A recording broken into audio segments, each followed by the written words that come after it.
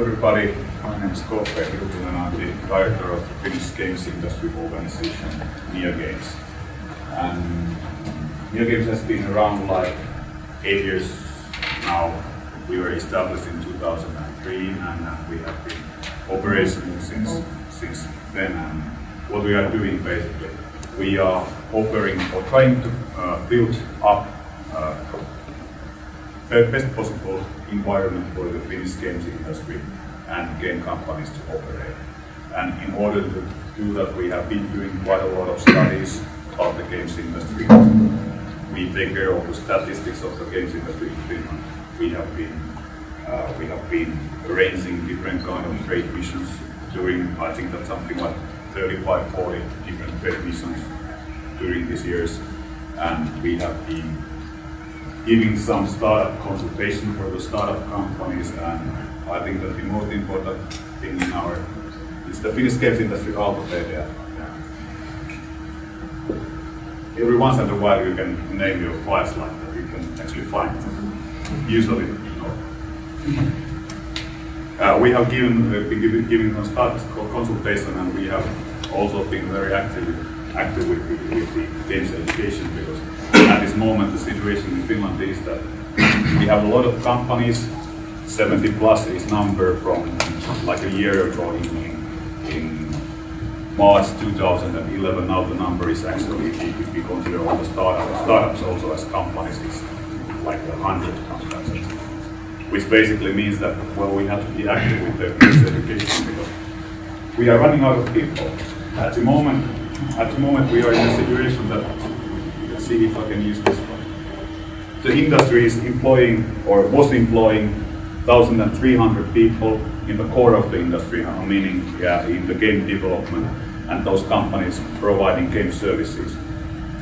I think that now the number is like 1,400, uh, 1,450, and we consider that we need something like 150 employees more before the end of the year. So you see that there is a lot of lot of need for for skilled people inside the games industry, which means that there is a lot of need for games education in Finland. And for that reason, it's, is very good thing that that also Aalto has uh, has uh, uh, taken it seriously, and, and, and, there is new game education beginning here in Aalto also. Of course, it doesn't affect until a couple of years, but okay, it's better later than sooner. Hmm. Uh, okay, one of the misconceptions of the games industry, or I don't know if, if it's a misconception, but one of the things which usually is asked from me is that okay, there this is geek industry. There is only guys in this industry. There is only boys, no females at all. Well, we don't have so many females in the games industry, but Actually, we made a little calculation when we last made the study, and we found out that the number is actually quite high compared to the some of the other Western game development countries. 16.4% of, of employees working in the games industry are females, and I think that because of the startup boom and because uh, because of, of the growth of the industry and because we have larger companies than we used to have before, also large companies the number of the females is going to rise in this year and in the coming years. So there is no need for, for anybody to be too scared of uh, well that, that there is no that there is only guys in this games industry. 70 plus is the age of the games industry. How do we calculate it? well, it's a little bit complicated, but the first Finnish commercial game was made in 1986. I don't know, if many of you weren't born back then yet, but uh, we calculate the age of the Finnish games industry from the from the establishment establishment of the oldest still existing companies. The two, the two of the oldest still existing companies are Remedy. Uh, everybody knows Remedy, knows something about the games industry, and Housemarque. So we are, in a sense, we are relatively young industry. We don't have this kind of uh, old industry structures, which also means that games industry is quite flexible and we are still developing with very fast pace.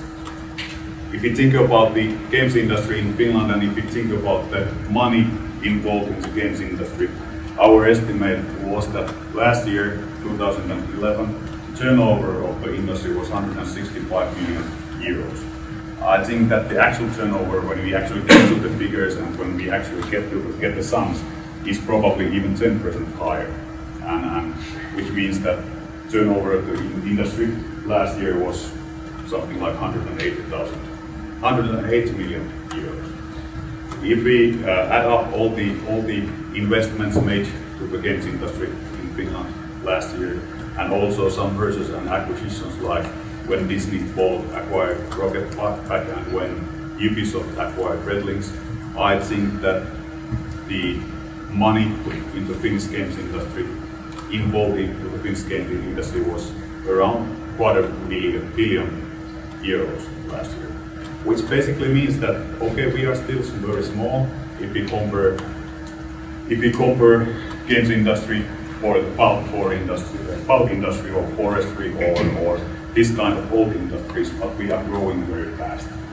So we are growing really fast and actually if you think about the growth rate and if you think about what the growth rate has been, compound annual growth rate of the Finnish games industry has been 22% between 2004 and 2011, which is hypergrowth, meaning that okay, we are small, but we are growing, growing, growing very, very fast, and one of these days we are going to be the big industry.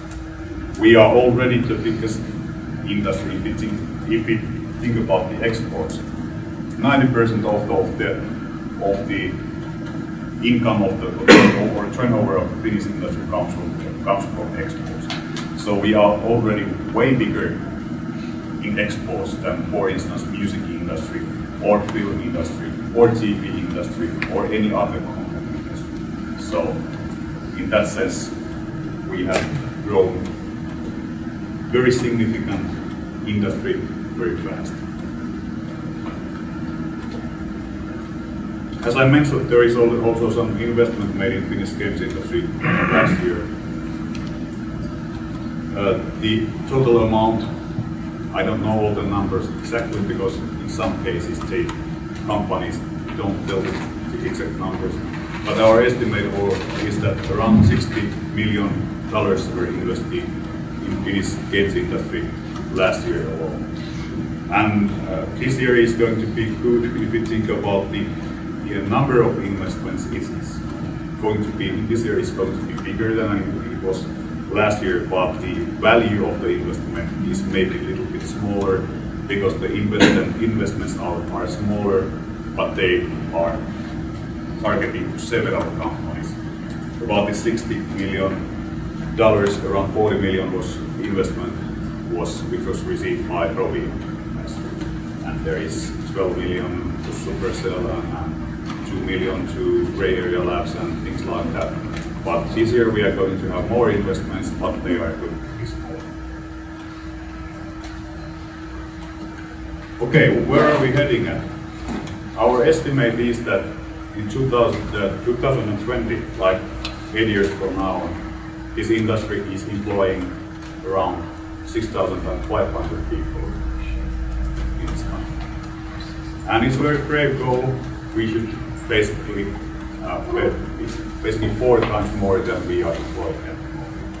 But I think that if we can get everything done properly, if we can get the education to good condition, if we can keep the investment flowing to the Finnish games industry, if we can uh, develop our technology skills, but also uh, also other skills in this area, it's quite doable goal for for us. And in order to do that, we of course need each and every one of you to contribute your part of it. Okay, but I don't know, I was focusing too fast, like 10 minutes, but do you have something to ask?